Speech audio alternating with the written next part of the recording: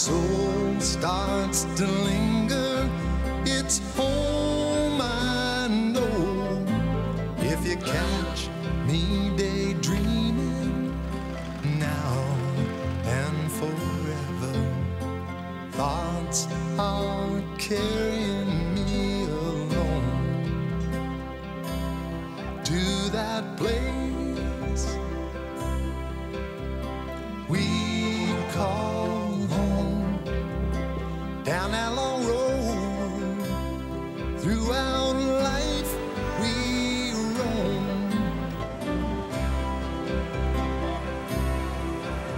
The urbanization of southern Ontario challenges many communities in their efforts to maintain the characteristics that make them unique.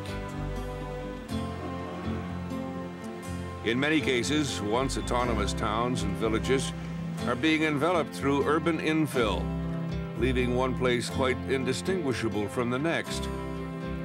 Meeting this challenge by keeping its history in the forefront is the town of Aurora. I have here an article written for a local newspaper a few years ago entitled Aurora's Place in History, or How to Reply When Someone Says They've Never Heard of the Place. We are given here a few facts to let us know what we really should have known all about in the first place. Well, now, if we were going to describe Aurora, we would certainly mention that it is on one of Ontario's oldest roads, Yonge Street. We would have to say that it was in the middle of rebel country during the uprisings of 1837. It would be absolutely necessary to talk about Ontario's first railway line and the important speech that was made by Edward Blake here in 1874. The real clincher for Aurora is that it was the boyhood home of one of our most popular prime ministers. Tell you what, why don't we simply meet the author of this article and prepare ourselves for the inevitable question Have you ever heard of Aurora?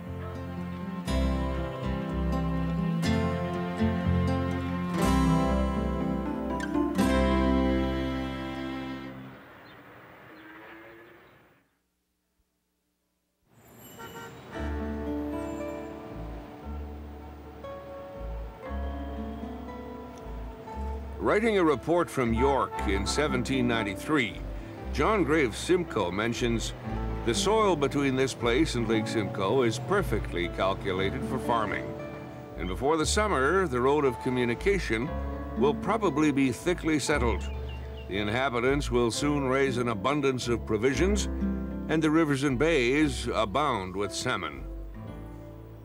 It is along Simcoe's road that Aurora has evolved for over two centuries from a stagecoach stop to a modern day community.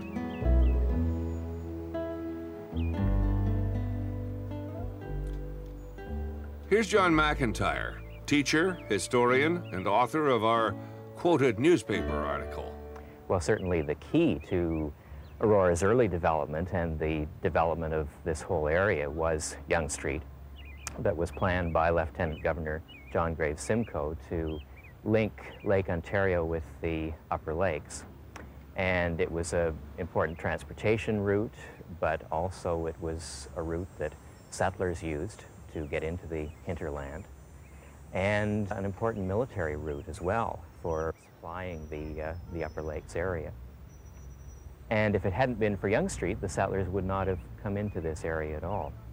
So they were here in what is now known as Aurora by the, by the late 1790s. Uh, virtually all of the land on either side of Yonge Street within the present bounds of Aurora was taken up by about 1800 by farmers who had settled here. And who were these people who came to claim a stake in the future? Jacqueline Stewart is curator of the local museum. The very first settlers had, with one exception, American backgrounds. They had uh, served with the uh, British Army or had been loyal supporters of the British during the American War of Revolution. Uh, most of them went first to the Maritimes where they were granted land, found the land there not as uh, profitable as they'd hoped and, and eventually came to Upper Canada and to this part of the world. Um, that was in the 1790s. Once settlement really got underway in the early years of the last century, probably most of the Aurora people had English, Scottish, and Irish backgrounds.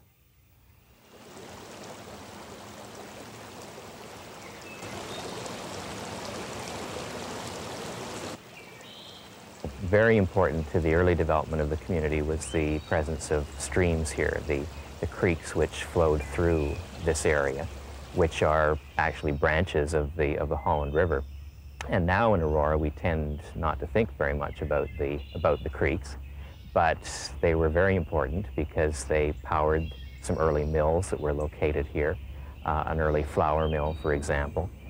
And once a mill was established, then other industries tended to follow.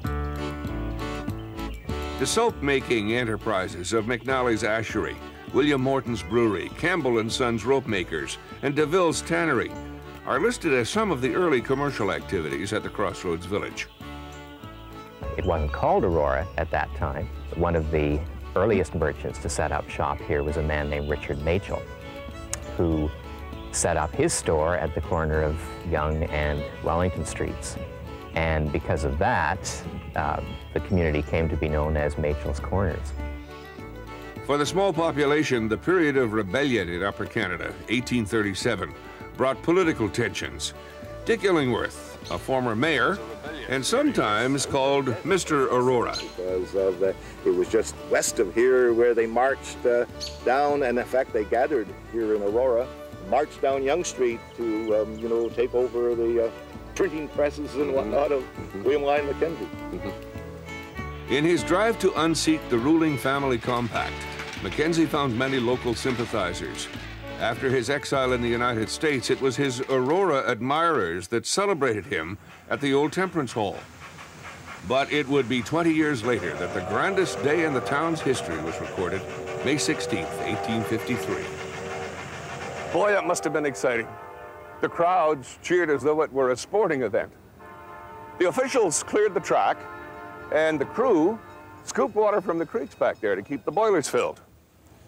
Pulling three flat cars, decorated with evergreens for the festivities, huffing and puffing, came the steam engine Toronto on the first rail line laid in Upper Canada.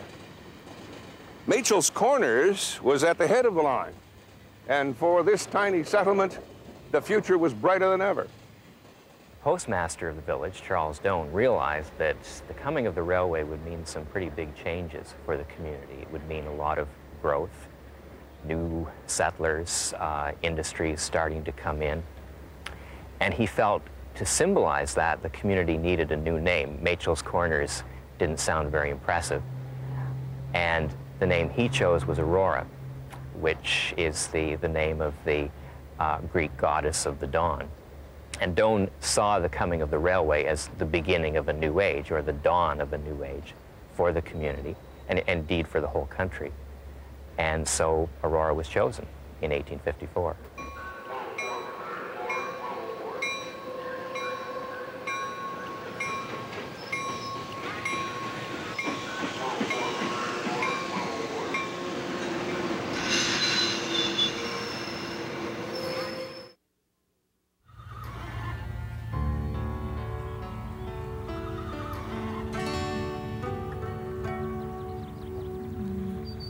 Is on the northern slope of the glacial formation known as the Oak Ridges Moraine, part of the Lake Simcoe watershed.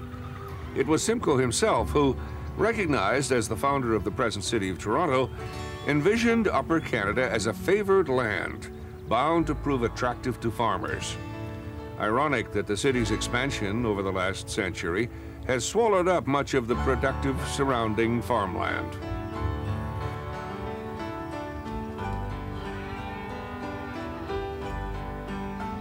The future and its expectations were the talk of the town in Aurora in mid-1800. The steel rail was an avenue to expanded markets, and new business meant prosperity for the Yonge Street community. The coming of the railway did bring a number of, of new industries, particularly the Fleury Agricultural Works. Uh, Joseph Fleury was a blacksmith in King Township, and he saw the coming of the railway as a great opportunity for him to expand his business and his enterprise. So he moved his shop into Aurora. And from that blacksmith shop grew a factory which produced plows and many other kinds of agricultural implements that lasted until the late 1930s. At its heyday, um, we believe that Fleury's employed approximately 200 people, so that was a quite a large enterprise at, at that time. And by the 1880s, 1890s, uh, when the Canadian West was opening up, they shipped um, hundreds of, of plows, uh, probably thousands of, of, plows yearly into the, the Canadian West. And they could do that so easily because Aurora was, was on the main line between Toronto and the, and the prairies.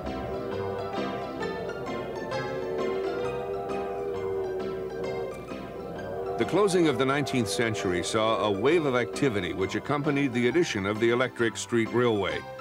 Known as the Metropolitan Railroad, it linked the communities along Yonge Street as far north as Lake Simcoe. The old Aurora Public School was built then, a very grand building for what was still really a, a village, a small village. Um, there were merchants up and down both sides of Yonge Street. There were churches. There were umpteen organizations. Uh, there was industry. Uh, that was a, a prosperous time.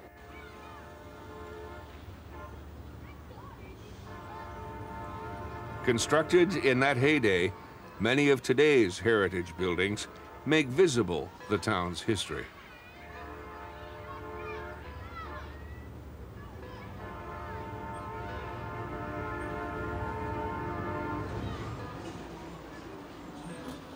Aurora was a relatively small community of um, two, perhaps 3,000 people in the 1880s when the public school was built.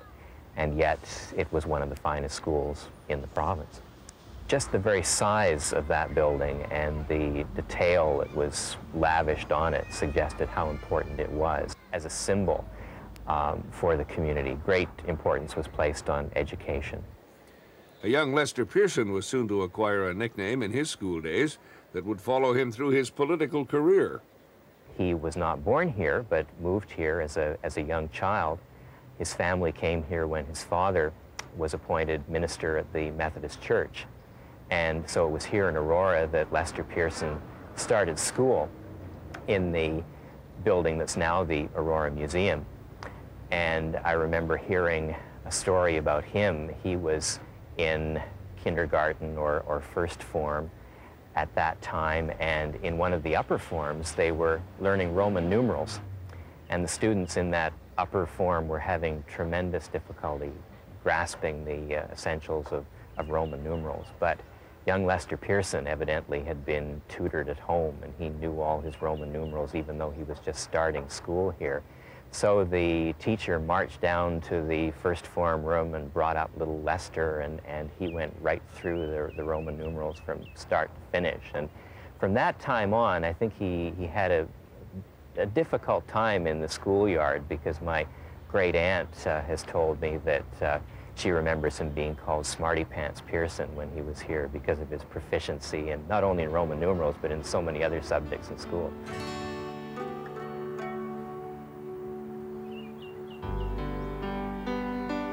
Recognized in education today as St. Andrew's College. Founded in 1899, it moved to Aurora from Toronto in 1926. A woman who became prominent in the early days of medicine was a widow with five children who was not to be held back from a new career. She was born in Aurora. She was born Josephine Irwin in the 1850s, grew up here. She married a young dentist uh, named John Wells. I think perhaps began her dental studies under him, but then she did go to the uh, Royal College of Dentistry. She graduated, the first woman to graduate from any Canadian dental college in 1893. She traveled up to Aurora, on a regular basis to serve the Aurora community. Uh, like other dentists of the time, she promised in her advertisements in the local paper painless dentistry and uh, beautiful false teeth and so on and so on. I suspect that the uh, turn of the century idea of painless dentistry would be a bit different from ours.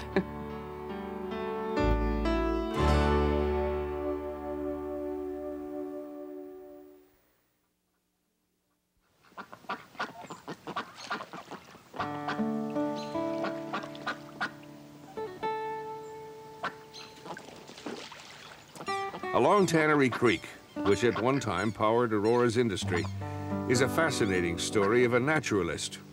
Harry Lumsden has made use of his backyard environment to develop a private sanctuary for endangered waterfowl species and for the propagation of rare flora. Oh no, this, this garden's only three years old. Oh yes. In the quiet of this refuge, Harry offered me a tour. So how did all this start for you? Oh, I uh, was uh, with the Ministry of Natural Resources and the Department of Lands and Forests before that, uh, working on waterfowl, and always been deeply interested in them. And uh, I uh, tried to keep here after we moved here those species I was working on. If you really want to learn about birds, you've got to live with them, you know. and I worked on Canada geese for many years and snow geese and some ducks. Now on swans, uh, well, I'm keeping them here too. Mm. One of the birds out there is a, a, cripple from Alaska. It was shot up there and uh, had to have a wing amputated. How can we tell? Which one? It's the one in the middle there. The far wing is the one that was amputated, the one with its head down on its back. The nearest one to us suffered from a nutritional deficiency, and it'll never fly. So when it was taken into a vet in Whitby and uh, looked after there for a little while, I went down and got it and brought it back here. What a bunch of ducks. Yeah, those are wild mallards that bred here. There were 29 have fledged on this pond this summer, hatched in these nest baskets and uh, raised absolutely wild. I don't feed them or anything. They get uh, food spilled by the swans, but otherwise they're uh, living on natural food. How long have you been here?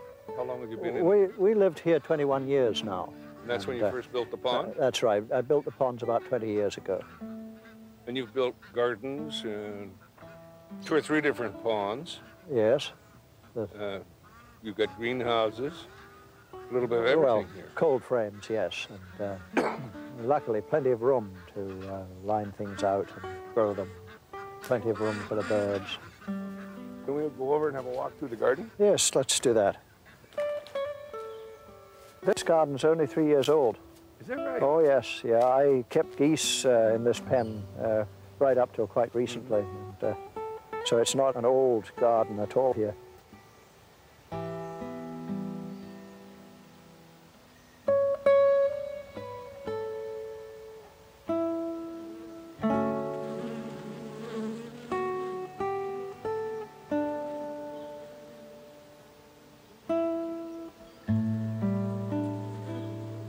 And now that you're retired, you're doing it still. You That's must right. get a great deal of satisfaction. Oh, I do indeed. Very few people get paid for doing what they want to do anyway. I was lucky enough to uh, have the, those interests. You have a beautiful place. Well, thank you. We enjoy it very much.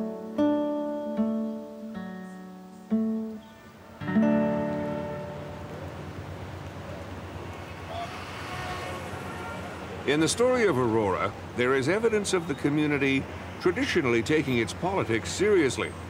Going through early accounts of political life, I came across a description of the election of 1887, where feelings ran high. The Liberals elected William Mulock, later known as Sir William, and the local paper, The Banner, that supported him was called the most contemptible grit paper in the country by a conservative letter writer.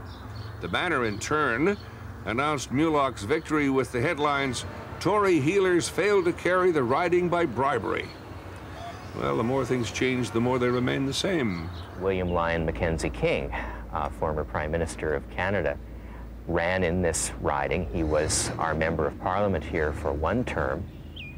Then when he ran here again uh, for a second term, he was defeated by a local boy, Herb Lennox. And many stories are told about the colorful Herb Lennox. He was a man who claimed to know everybody in the community.